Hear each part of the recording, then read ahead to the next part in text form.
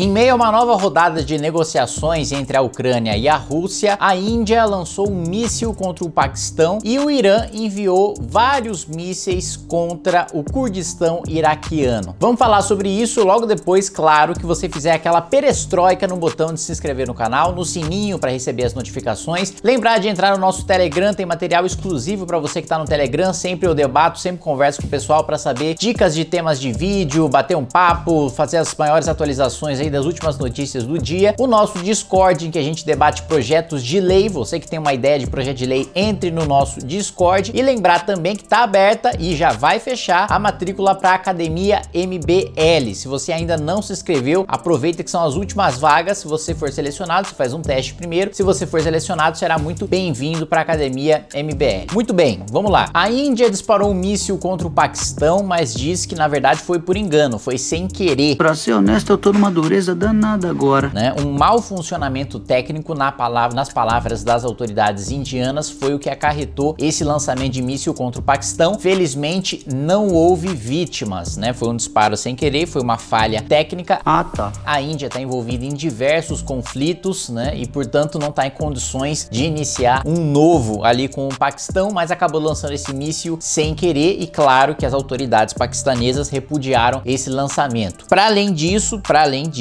o Irã reivindicou um ataque de mísseis contra Erbil. Erbil fica no Kurdistão iraquiano, no norte. Disse que os tiros uh, estavam voltados para um centro estratégico israelense. Não é de hoje, vocês sabem que Irã ataca o Estado de Israel e sempre que o Estado de Israel se defende, vem uma moção de repúdio, vem uma investigação sobre violação de direitos humanos por parte da ONU. Aliás, eu vou até pedir para o editor colocar essa lista aí na tela. Esse é o número de vezes que a ONU repudiou ou iniciou investigações de direitos humanos contra cada país do mundo. Veja que Israel, na visão da ONU, violou mais direitos humanos do que a Coreia do Norte, violou mais direitos humanos do que Cuba, violou, violou mais direitos humanos do que qualquer ditadura fundamentalista do Oriente Médio. Né? É um, um absurdo o nível de perseguição contra Israel. Israel se defende contra o Hamas, ONU fica do lado do Hamas. Israel se defende contra o Irã, fica do lado do Irã. Enfim, mesmo com muitas vezes, inclusive, Israel unilateralmente deixando os territórios em busca da paz, seus inimigos insistem na sua destruição, tudo isso com o apoio moral da ONU. Mas, de todo modo, o Irã reivindicou esse ataque, justificou dizendo que era um centro estratégico israelense e, para além disso, né, as autoridades do Iraque diz que naquele momento, né, é impossível dizer, né, no momento em que foi feito o disparo, impossível dizer se o objetivo era atingir o consulado americano ou o aeroporto do país, né, que é onde fica a base da coalizão internacional anti-jihadista, anti-jihad. Muito bem. O Ministério do Interior do Kurdistão disse num comunicado que um novo edifício em que se encontra o consulado dos Estados Unidos no subúrbio residencial da cidade foi alcançado por